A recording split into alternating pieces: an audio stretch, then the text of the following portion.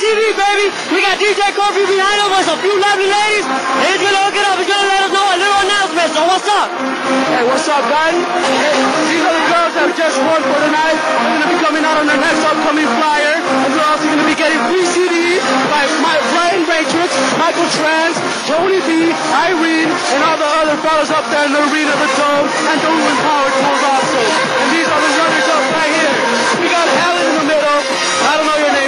sweetheart, but And what's your name, girl? Cynthia.